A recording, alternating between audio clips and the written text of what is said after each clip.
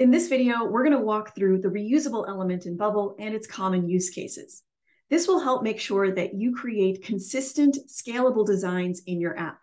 Stick around until the end because I want to make sure you avoid building anything that's redundant in your application, which can lead to errors and even extra work for yourself. It's Gabby over at Coaching No Code Apps, where we help non technical entrepreneurs build custom apps so they can launch their app based businesses or grow their existing businesses all without coding. Let's talk about the reusable element in Bubble. This is a type of global element that you build and design once and then apply instances of that element to multiple places in your app. This is really going to benefit those who are building a multi-page application. So if you have any kind of a design, for example, a header with a menu system in it, that needs to look the exact same and behave the exact same in many different places in your app, this is the type of element you want to work with so that you're not creating extra work for yourself and redesigning the exact same things multiple times. Of course, you can work with reusable elements on a single page design, but most of the common use cases are within multi-page structures. Let's take a look at a few examples now.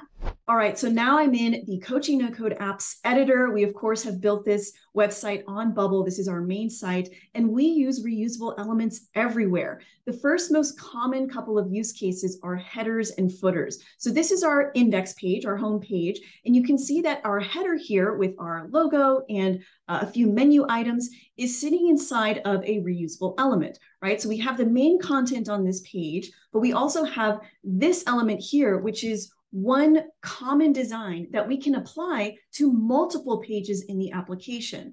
Okay, so this is our index. Uh, here is the preview for it. We can see it at the top there. I'm going to switch over to another page. This is a description page here for our built to scale product. You can see the exact same header is designed up there. Now, we didn't design that twice. We didn't build that out twice. We simply added an instance of that reusable element to this page as well. Here's another page on our website that describes uh, all of our resources and help that you can get from us. So this also has the header. Um, it's again, another instance of that reusable element. We didn't have to design it a third time. In fact, we have many other pages that also display this.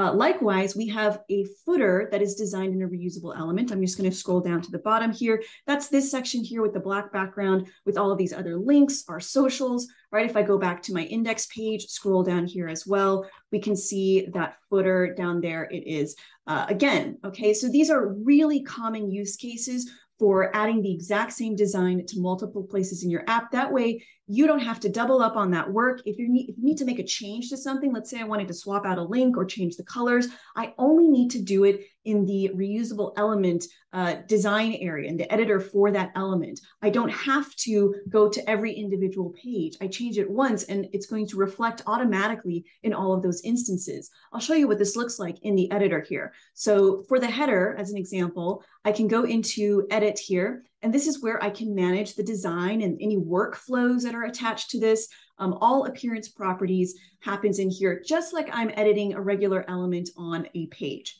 Okay, so headers and footers really common for reusable elements. Another common example is a form. So we have uh, a couple of instances of this opt-in form throughout our website to have people sign up for our free training, to join our newsletter, right? And so we have different points of entry throughout our website. And so rather than designing this form multiple times, right, there are of course workflows attached to this um, to collect that information and be able to add that person to our newsletter uh, you know we're going to set it up once in this reusable element. That way it is scalable it's consistent. We're not making mistakes if we have to have it on 10 different places. We make one change in one area. We don't need to remember to go and change it in nine other places as well. So forms that appear in multiple places are a really good use case. You might do this with a contact form a feedback form for your app uh, as an example there, right? So here are a couple of pages where we see that form. This is again our index page. We've got this at the bottom of the screen. There's one instance of it.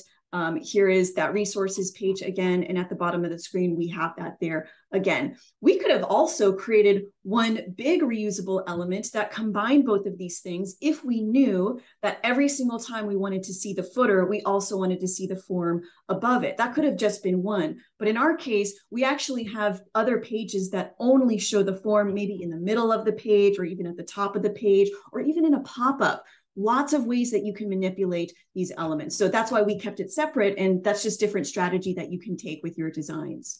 Now, the next example we have here is a little bit more advanced. This is kind of a pro tip, which is to use reusable elements inside of repeating groups. This is a great example of when you would want to do this. So take a look at this list of events that I have here. This is just designed inside of a repeating group. Now, if I wanted to take an action on any one of these events, uh, I can open up this kind of secondary menu here uh, of buttons, right? And we can see that it's passing that information. This is the date of the event. It's passing it into the group. If I go into this February 23rd event, it passes it there. So it's dynamic, right? And so this is in the use case of maybe you have a list of actions uh, through buttons or extra information that you don't always want to show uh, at all times directly in the cell. So you kind of hide it inside of this secondary window. Now this group here is a group focus. And if you've worked with repeating groups before, you might have discovered that you can't actually add a group focus directly inside of the cell. It's not possible. But the way around that is to go through a reusable element. Okay, so if I go into the editor to show you here, this is my repeating group. I have my event uh, date there.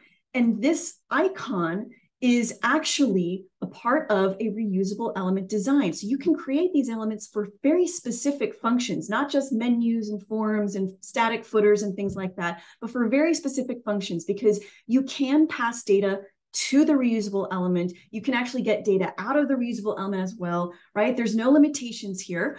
Uh, so we can see that we're passing the event, right, the cells event into that reusable element. And if we open up the reusable element, it's actually just, you know, the size of the icon there.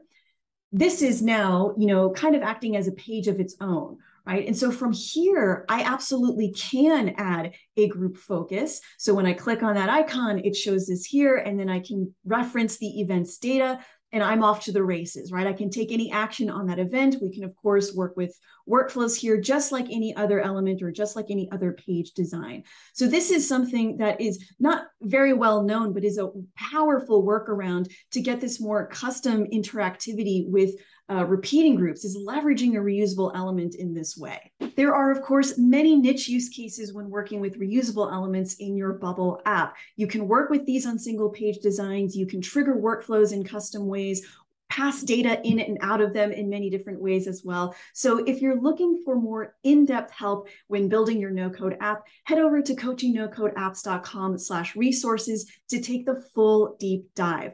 Thank you so much for watching and we'll see you in the next one.